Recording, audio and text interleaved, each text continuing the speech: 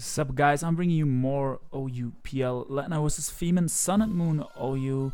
Apologize for the that this is a replay again, but I recorded this live and my voice didn't get recorded and it was kind of odd to like narrate over the old video so I decided to record the replay and I promise you the next game will be live again because I know some of you guys prefer live games over replays but yeah, we see uh, Lednah brings an interesting Cofagrigus team Mega Mawile and probably Scarf Keldeo.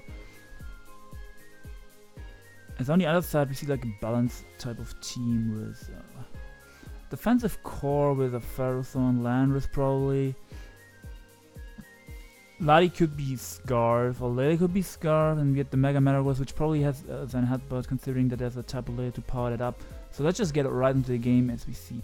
Mega Mawile lead versus Metagross, and I remember this turn. Mawile goes for Fire Throwing, Metagross goes for Earthquake.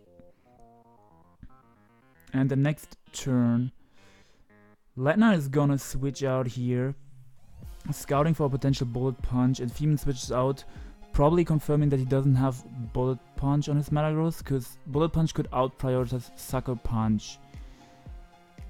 So Femen goes Lando here. I think they both go Lando. Femen goes Lando predicting the sucker punch, and Lednah goes Lando scouting for bullet punch. Maybe he's maybe that that makes me think he's Helmet Landorus because he goes Landorus maybe predicting the BP.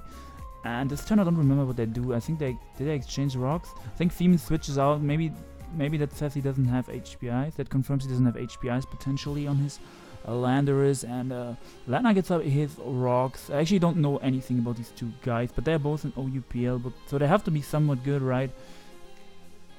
I mean, not necessarily, because uh, like I know Matty Brolic drafted most of his friends. Like, I know some of them are really good players, but maybe not every one of them. But like, it doesn't. Being OUPL doesn't necessarily mean you are good, I guess. So he gets up the rocks as the Manaphy comes in, and the Manaphy pretty much has a free tail here. I was thinking when I was watching this live that this could be HP Fire Manaphy to break the uh, Ferrothorn. But as you guys will see really soon, this is a really cool Manaphy set. He is gonna go for the Z move here, and it's a Z Blizzard, and it's gonna blow the Mawile away and uh, Sub-Zero Slammer. So if Lednah really scouted for the Z move, he scouted for Z move for HP Fire, that was a really good play, wasting the Z move and now you can go to Ferrothorn, because Ferrothorn lifts, lives a regular Blizzard. You guys will see now it has Blizzard, not Ice Beam. It's probably to kill Assault Vest Changos. It still does 62%, which is pretty good chunk to the uh, Ferrothorn. The Ferrothorn will go for Power Whip here, get a good chunk on the Manaphy. And I think he goes Greninja uh, or Keldeo here. And I think the Manaphy misses the Blizzard, which sucks a lot for Femen. I hope I didn't butcher your name, my guy, if you're watching this. so yeah, the Keldeo is free to fire off a Secret Sword here, and this brings him, gives him a free switch into Landorus or Keldeo, uh, or Lele, I mean, my bad. He can pretty much click, he doesn't want to click Psychic because there's a Greninja, but other than that he's pretty much free. Okay, he still clicks Psychic, knowing Lednah wouldn't go hard Grand. I mean, Moonblast probably would have tweet killed the Ferro anyway, so... I don't know. Uh, I think this could be Specs damage, I'm not 100% sure, I haven't run the calc. If it's mixed defense with Ferro, I guess it could be Specs. Because like Psychic is resisted, I know it's Psychic turn boosted, but it's still a Ferrothorn, it's really bulky, so this Ferrothorn is gonna get 2-hit KO'd. When I was watching this live, I was like, he could potentially go Greninja here, so maybe Femen wants to double out, but I agree with Femen making the safe play here. Because on the off chance that Femen wanted to double out, Lednah could have taken advantage of that, staying with his Ferrothorn, get up a Spike, something like that, so I can com uh, completely understand why he just uh, Psychic again, he killed off the Ferro, now the Greninja gets a free switch in basically. And Femen doesn't have switch ins for the Greninja. He basically has to sack something to Ice Beam, I think, or what is coming out here. Like, this could have HP 5 or Ferrothorn. It's, we see it's low kick. So I, I, didn't remember that it was low kick. And I was like not sure at this point if it was complete physical or mixed Greninja, but I was kind of sure that, like, at least had one special attacking move. But I wasn't sure EVs wise, if it was like max attack or mixed. I think it's like mixed, because max attack, I think it's like 80 to Ferrothorn with low kick. I have seen the calc once, but maybe this Ferrothorn does have has a bit more Spadaf, uh, has a bit more fist Fizzdav, so maybe that's why this less. But yeah, um, I think he's gonna go for Ice Beam on the next turn, and I don't remember what Femen did. If he just sacked his Ferro, if he switched. Yeah, he just sacked the. Okay, look again. It's a safe play with Lednah. And I think he goes Ladi here. Okay, Landorus, okay. So this um, makes me want to believe he's Scarf Landorus. Damn. You guys already see I don't remember much. I didn't get much sleep today, and I recorded this yesterday in the evening.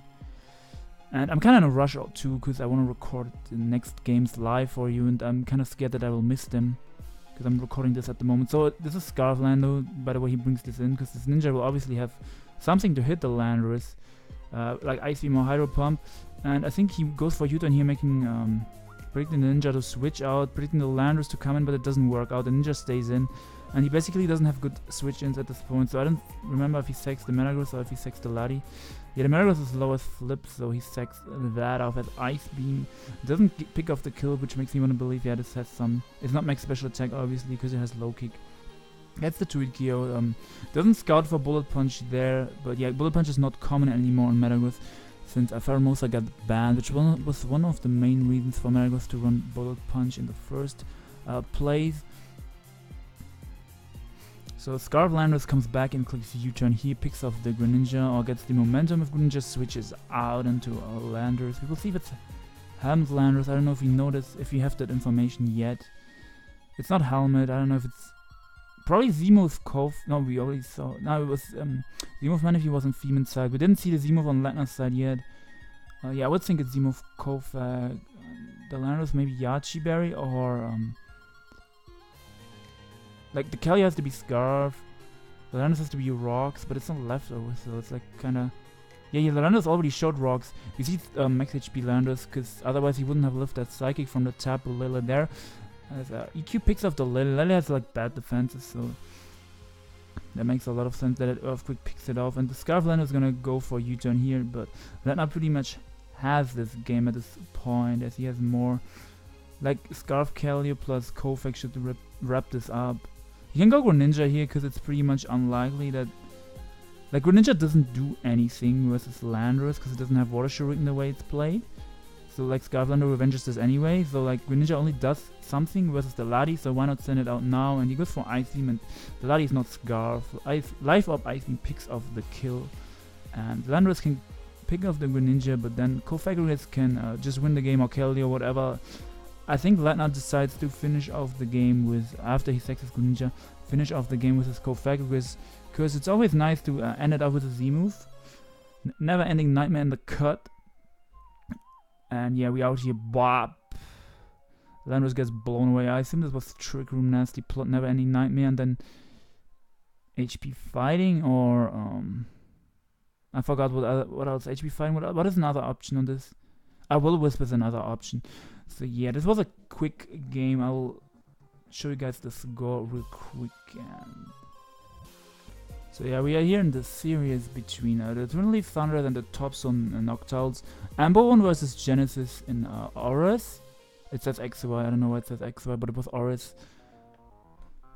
Um, it was like Clefable Wars, and there was like a bit of hacks. I think Genesis uh, was commenting, had like a lot of comments up with his Clefable, and he got fully paralyzed, which was uh, kind of game changing as the Tornadus from Ember was able to tweet Geoda Clefable with Iron, Iron Tail, if I recall correctly. So like, I missed that game live, and I don't think it's worth to upload the replay.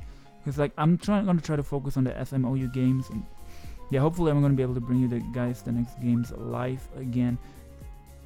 Yeah, as you see here, Lednah won for his team, the Chunli Thunders, which is Blunder's team, if I recall correctly, and yeah, this is OUPL week Tuesday uh, tuned for. I know on Sunday my man's Easy's playing with Steve Angelo.